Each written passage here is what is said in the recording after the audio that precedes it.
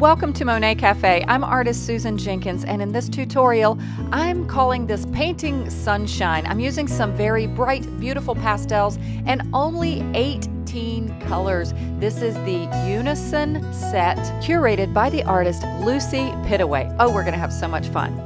If you would, go ahead and like this video. Go ahead and subscribe if you haven't already. And if you hit the little bell next to the subscribe button, you'll be notified of any future videos I post. This free video tutorial is brought to you because of the faithful support from my patrons on my Patreon page. For $5 a month, you can support this channel and you get extra content. So here we go. Let's talk about the supplies.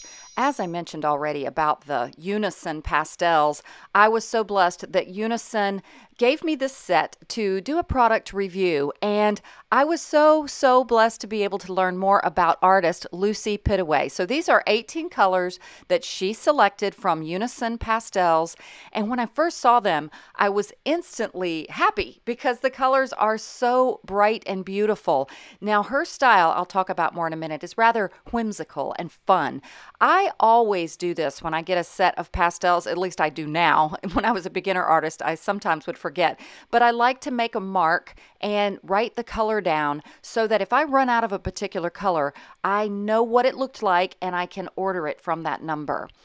And let's go ahead and see on Unison's website, you can click under their artist section and read a little bit more about artist Lucy Pittaway. She's absolutely beautiful. And when you read a little bit more about her, you can see she's beautiful on the inside too. Like I said, she has a lovely, whimsical, and fun style. And here it says she has two dedicated art galleries. Also, she is a former graphic design teacher. I majored in graphic design myself. It also says that Lucy chose bright and uplifting colors for her artwork, and each piece has an underlying story and inspiration related to her own life, family, and surroundings. And Lucy is really well known for her sheep collection.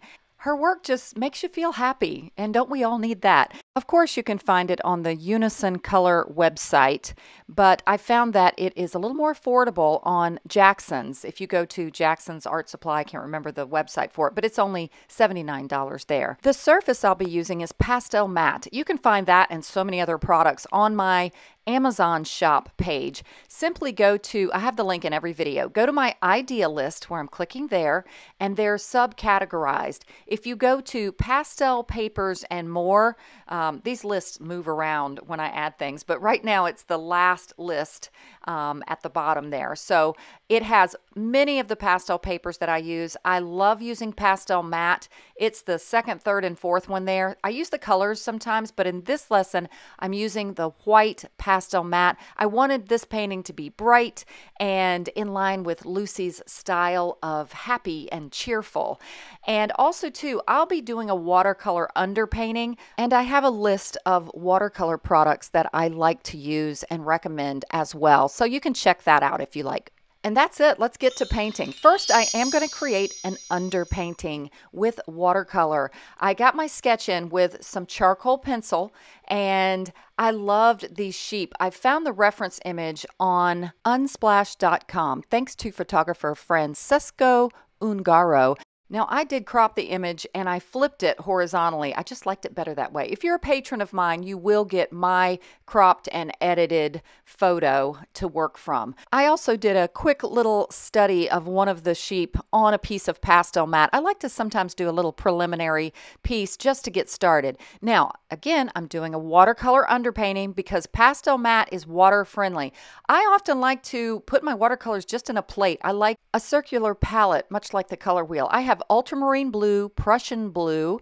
I also have cadmium yellow, and I have another yellow kind of color. It's called quinacridone gold. I love it. It's a really kind of golden yellow color. I also have quinacridone violet. Now with these five colors, I can, is that five? One, two, three, four, five. Yes, I can create so many colors. You know how you can mix the primaries? So really with watercolor, it's awesome. You don't need nearly as many colors as with pastel. I love to use these Princeton Brush Company brushes. This is the 40-50 round.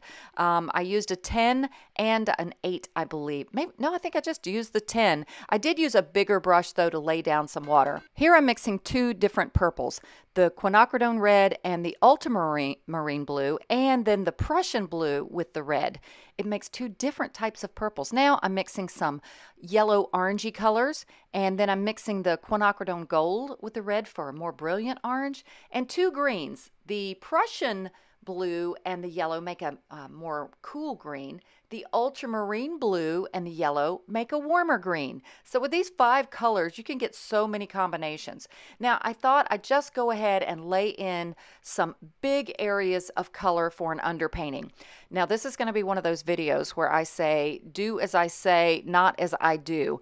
I've done watercolor on this Pastelmat white surface many times, but I never actually tried to do it in this way where I was sectioning off areas and I didn't realize how much it bleeds into other areas. It's not quite like watercolor paper. This was something I learned. I, I got it all bleeding down into my sketch that I did. So I ended up just not even worrying about it and just getting in the big blocks of color. And I kind of lost my sketch because of that. So if you do an underpainting on Pastelmat, um, you might not want to do it in this way. What would have been better probably is for me just to get in some some nice color and then put my sketch on top. So what I'm doing though, you get the general idea same principles apply to so many paintings. I'm just getting in big blocks of color. I'm covering up that white surface with the general big shapes, values, and colors. And you can see it, it was bleeding all around the edges. Now, it doesn't matter that much because I do cover it up with pastel, but Again, keep that in mind if you're doing something similar on Pastelmat. And now the fun begins using these brilliant and bright pastels. I started with the lightest green. It, this was a sunny, sunny day. That's why I call it Painting Sunshine, and I even named the painting Sunshine Days. Uh, they were just these cool looking sheep walking down the road in the sunshine. Now, I have put up the reference image for you to um, see while I'm painting. I apologize that it's so small. I have to wrestle with do I want you to see my pastels and a small reference image or blow the reference image up and then you can't see my whole palette. So I thought you might like to see the pastels I'm choosing in this one. Now I did switch to the middle green here. I'm working kind of like the way color works or value I should say works, usually darker in the foreground and gradually getting lighter in the background. I'm keeping this super, super loose. Now I'm working on that shadow. The only real dark uh, well, the, there's two sort of darks. This dark green that I'm using here, I'm just kind of getting in that shadow. You can see in the reference image there, um, the shadow was on our left side. And um, now I had to work in a little bit of that green between the legs. Like I said, I, I really lost my sketch, so I had to just kind of uh, re repaint it, um, which was fine. And one reason I really like this image is because I felt like I could utilize these colors in the set quite well. Again, bright colors, they kind of look like sunshine, and the photo was very bright and sunny. It was so easy to see where the light was coming from, from our right shining onto the sheep from the right. Now, I used a pastel pencil. If you've watched my videos much, you know I don't often use a pastel pencil, but I kind of used it to re-sketch in, uh, to reestablish my sheep. So it was no biggie. I just redrew them. So now I'm using something, I'll show you an image of it later. It's a pastel blender made by Pan Pastels. So I'm going to I'm going to use one again in, in just a little while. Now, what I'm doing now is what I talk about in so many painting videos. I'm focusing on value, the lightness or the darkness of something. And the advantages of using such a small set like this is you are forced to rely on value because you don't have some of the colors you need sometimes. So you have to just go with what value is correct versus color. And this middle taupey color, it's kind of a uh, brown taupey color was nice for some of the shadows of the legs.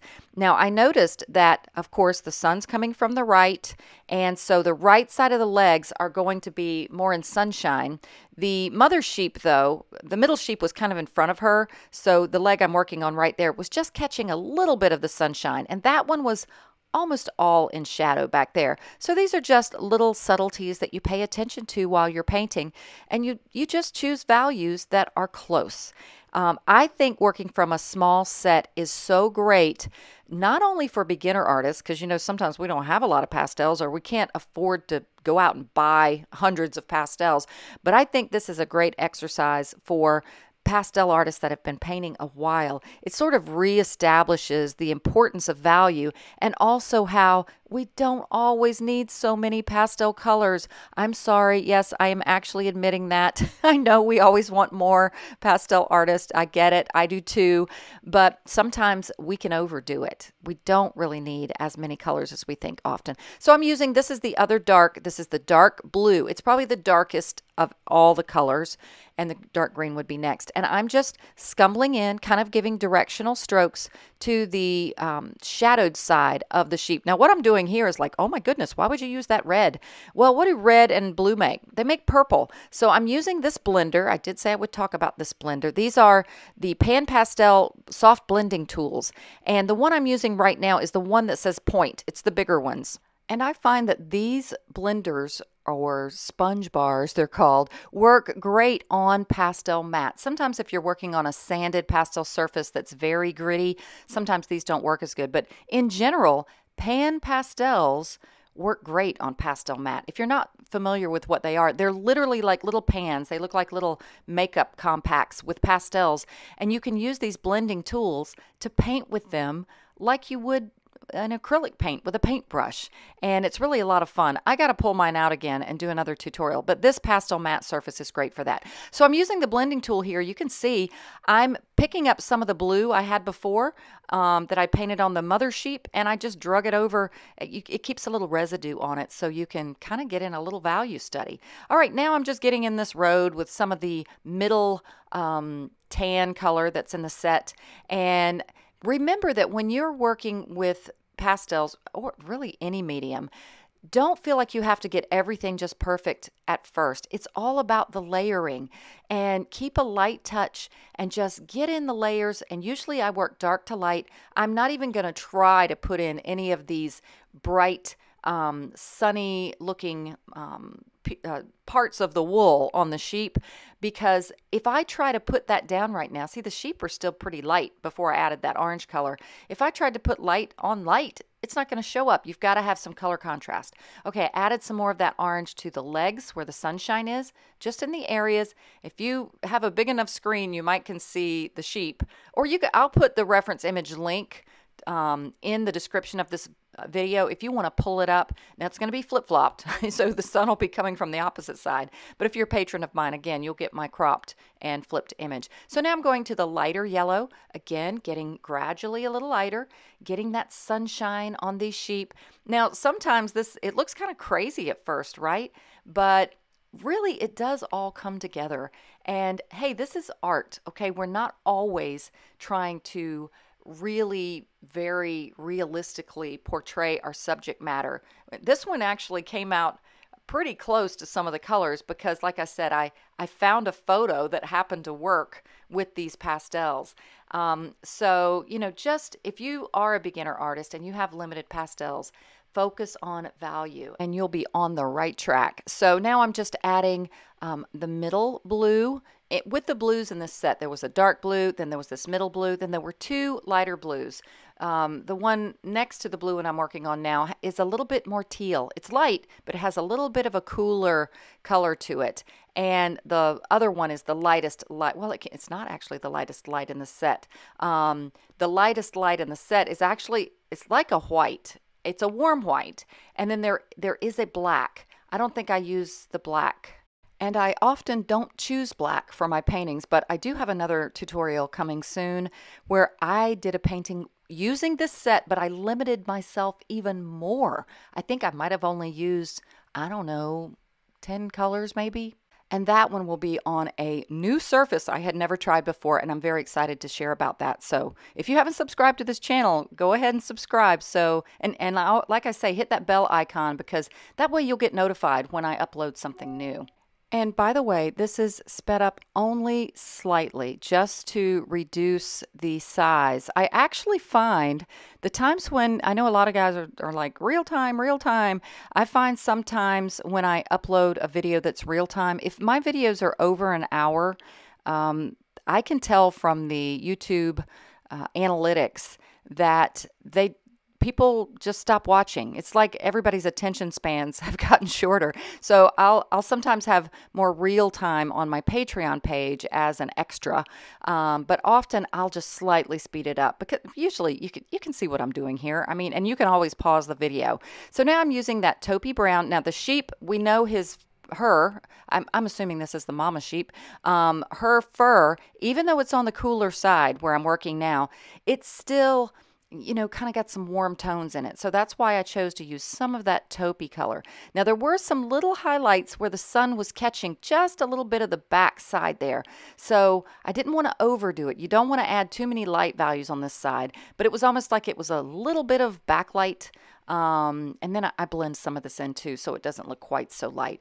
So just working a little bit of the lights around the perimeter um, of the sheep. Now, I did love this little minty green. I think I'm going to zoom in a little bit so y'all can see a little better. Like I said, it's, it's very light, but it's just got a hint of a teal color to it. So it's kind of a warm, light color. And I found it was a good color just to catch some of those highlights um, on the underside of the sheep. And the reason I chose that versus white is it was a little bit underneath the sheep, so it was still a little bit in shadow, and that means that colors cool off a bit. So the lightest light, I'm not sure if I actually, I don't think I used the white, but I used one of the lightest lights that was that warm um, white color. I finally add at the very end to the sheep um, their faces. Again, if you can see the reference image, you see that the our right side of their faces is the lightest light where the sun's hitting. A, a, little bit on some of the legs, the ones that are sticking out the most, and then also a little bit on some of the wool, some of the little curly cues of the wool. So again, I'm having to focus on value here, and I didn't want to just add white to their face. This was a lot more interesting. And later I'll come in and add a little bit of lighter, what I'm calling white, to this as well. So you can see how I use this minty green. And this makes painting fun. Like I said, we're artists. We're supposed to have fun with color. And by limiting yourself with colors, um, it forces you to choose fun and creative colors. I have that question all the time. How did you know to choose that color? And um, sometimes it's just knowing a little bit of rules. They're not hard with color temperature and just how color behaves, that you can choose colors that you don't necessarily see. But sometimes, if you limit yourself with your palette, you can uh, get creative with color by you're forced to, you know, by necessity. In this angle of filming and the way I cropped it, I was able to get this sheep reference image a little bit larger. So hopefully that'll help. Now I'm adding a little bit of this um, kind of middle um, tan color to the mama sheep. She was a little bit more in shadow, and I'm adding um, that lighter tan, I guess you would call it. It's in the row of the those taupey colors, the lighter one to the right side of the sheep here. And um, you're really getting that feeling of sunshine now and uh, and it was just fun. This it just looks so bright and cheery to me. I really enjoyed painting this, and I enjoyed the results because, you know, this isn't my normal style of painting either. So I have to say a big thank you to Unison for uh, gifting the set to me to be able to do this demonstration and uh, learning a little bit more about artist Lucy Pittaway. I, j- I would love to meet her. She's got this beautiful English accent. I saw a video on her. I don't know if it was on the Unison site. Now I'm adding a little bit more of this um, orangey color, warming it up. If you look at the reference image and squint your eyes, you can see there really is some of that orange feeling to the sheep. And now the the left side, I keep getting confused with that. It's the sheep's right side, but it's our left side um, is really in shadow. So I'm even adding more of that blue. So what am I doing now? Oh my goodness, look at that bright, bright. This is a gorgeous red, by the way. Um, that bright red that I'm putting in their ears. Surely their ears aren't that bright red. Well, no, they're not. But this is one of the aspects of pastels that you can use to your to your advantage with a limited palette. I really did love this orange color. Um, sometimes with sheep and with pigs, certain animals, if the sunlight is shining in their ears, behind their ears, it really does illuminate some areas to be this pretty pinkish orangey color. So even though I laid down that bright red, I'm, like I said, I'm using the ability of pastels to layer and kind of alter colors by some layering. Now I'm just I'm kind of outlining the ears with some of the the way the sunlight was capturing the little fuzzy fur around their ears. But you'll see me go in with other pastels, uh, like on that mama sheep. You can see the left ear, our left, is darker inside. I go back later with a darker um, blue or some of those blues, and I make um, little value changes to that. Now I am using, you saw me use that, I think I was using that blending tool again. Now I am going in with the pastel pencil and kind of getting in some of the darks of the eyes. I wanted to get them right and the pastels were a little chunky for getting um, some of these features just right. So I wanted to kind of reestablish the darks there. Now I actually use the pastel pencil. Um, I use that instead of a pastel to kind of darken that center part of the, the mama sheep's ear. And same thing here. You see how I'm just um, changing some of the values and leaving a little bit of that bright color at the tips of the ears. And now I am going to be continuing to layer. I've got the basics in. I've got color down everywhere and I'm going to continue to layer the fur and establish the values and colors further. So I've got about, at this point, there's probably about oh, 17 more minutes, 16 more minutes into the video. So I'm going to add some music, but I want you to pay attention to how I'm I have I've resisted the urge to put in the fur. I've just been putting in large shapes, but now I'm going to gradually start adding some of the fur. Would you call it fur, wool, whatever you would call it on a sheep? Um, reestablishing some of their faces. The baby sheep need their faces um, really finished too. But just kind of watch that layering process, and don't go anywhere because closer to the end, I'm really going to zoom in so you can see a lot of the detail and the strokes and how they really do look like they're glistening in the sun by the end of this. All right, enjoy the music.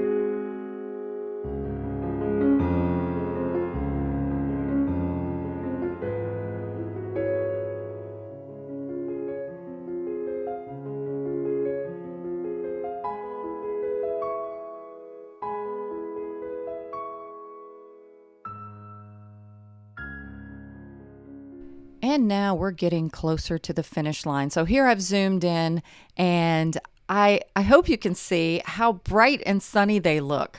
And I, I really loved this fun exploration with this set and limiting myself with these colors. And it is truly proof that you don't have to have a million pastels to create a painting. And I always recommend getting quality over quantity when it comes to soft pastels. Don't get the cheaper pastels just so you can get a lot of colors. Um, that is one thing that's worth it is the quality professional pastels because the ones you get at like the craft stores, you're just not going to get this kind of color. So you can see I added in some grasses. Now I'm working more on that shadow. I wanted to, I added the darkest blue for the shadow, but I softened it with that medium blue and it kind of softened the edges and took down the dark value just a little bit. Um, now I'm going to add just a little bit. The road was just kind of really flat with one color. I did want the sheep to be the main focal point, but I wanted to give a little bit more color to especially that area underneath them.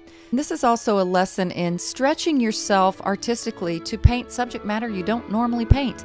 I mean, I might paint sheep, but I wouldn't have done them this fun. So I really do love this little painting, and I will have it available in my Etsy shop soon, and I'll probably make prints of this one on my Fine Art America print site. So check that out.